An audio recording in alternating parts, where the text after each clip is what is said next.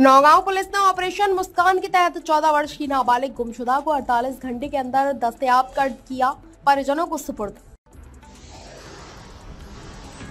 परिजनों के चेहरे पर लौटी मुस्कान। पुलिस का जताया आभार। पुलिस अधीक्षक छतरपुर अगम जैन ने ऑपरेशन मुस्कान के तहत समस्त थाना प्रभारी को गुम अपहृत बालक बालिकाओं की शीघ्र ही दस्तयाबी हेतु निर्देशित किया है।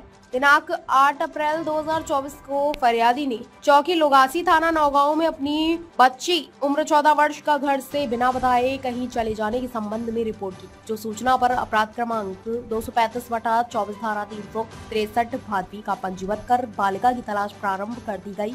अतिरिक्त पुलिस अधीक्षक विक्रम सिंह के कुशल मार्गदर्शन एवं S D O P Naugaon Chanchlesh Margam एवं थाना प्रभारी नौगांव निरीक्षक सतीश सिंह के नेतृत्व में चौकी प्रभारी लुगासी उप निरीक्षक बलराम यादव एवं पुलिस टीम द्वारा मुखबिर तंत्र को सक्रिय कर 48 घंटे के अंदर नाबालिग बालिका को दस्तयाब कर परिजनों को सुपुर्द किया। महिला पुलिस अधिकारी द्वारा बालिका से पूछताछ कर उसके द्वारा किसी प्रकार की घटना न होना बताया गया। परिजनों द्वारा अपनी बालिका को पाकर पुलिस को धन्यवाद ज्ञापित किया गया। उक्त संपूर्ण कार्रवाई में निरीक्षक सतीश सिंह, थाना प्रभारी नौगांव उप निरीक्षक बलराम यादव, चौकी प्रभारी लोगासी उप निरीक्षक नेहा गुर्जर, चौकी प्रभारी नरौली आरक्षक धर्मेंद्र एवं महिला आरक्षक राधा की महत्वपूर्ण भूमिका रही। जनपद दर्शन न्यूज़ चैनल के लिए हरिओम अग्रवाल की रिपोर्ट।